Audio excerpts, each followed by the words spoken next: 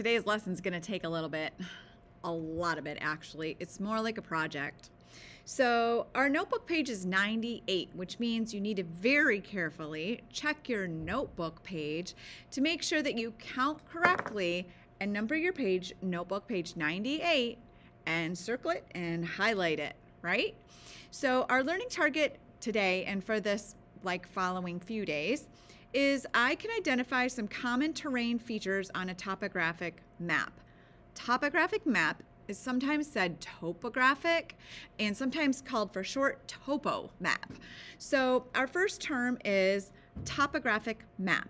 Say it with me, topographic map.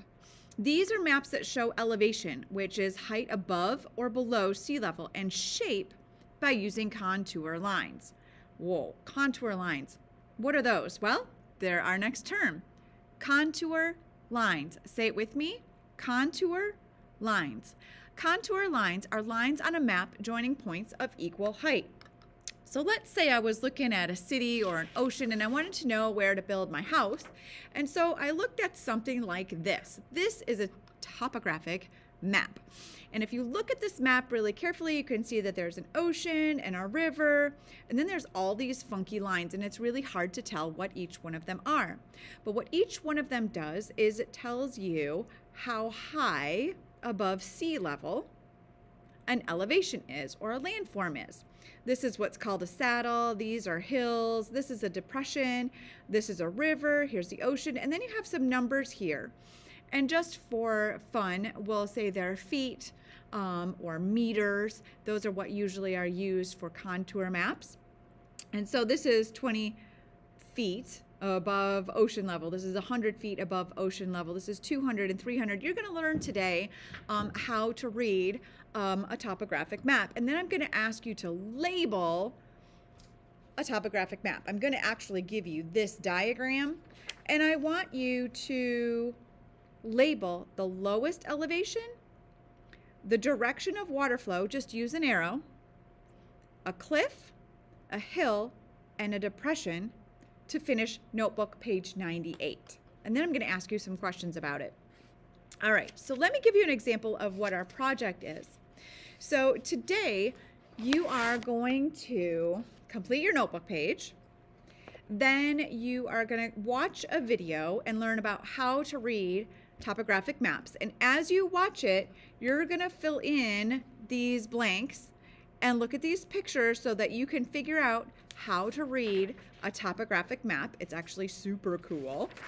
And then once you have figured out how to read a topographic map, um, I will ask you to build one. And you're going to get lots of choice today.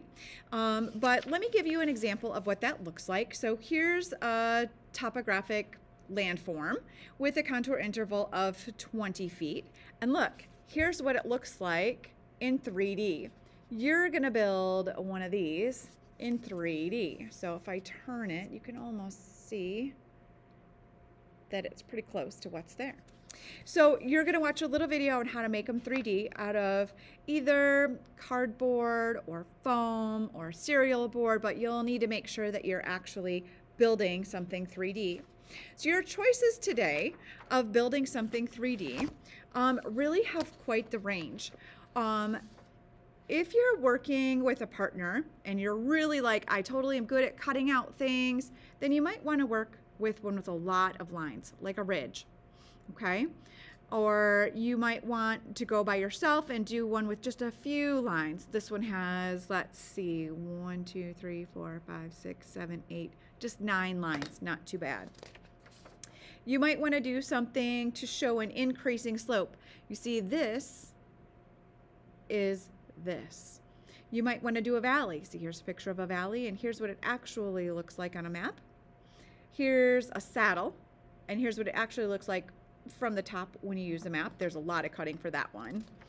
Um, the depression is actually kind of fun. Not like you're so depressed, but like it's a depression. So here's like a crater, um, and you count the lines for contour lines. Or you could do a hill, just a plain, simple hill. Or you could do an island. So the island is probably the least amount of work. Okay. Um, you could do one with a river. This one has a river in it. Um, and so pick one that you think you and your partner, or you do not have to have a partner, but you can only have one partner, not two, one partner. So we can either have one person working by themselves or two people working together, okay, to create a topographic map. It's a lot of cutting, it's a lot of gluing, and if you want to color it, you can color it too. Um, anyway, have fun figuring out how to build a 3D topographical model using contour lines. And then you'll be able to show them to the class and explain what they look like. All right, have a good one.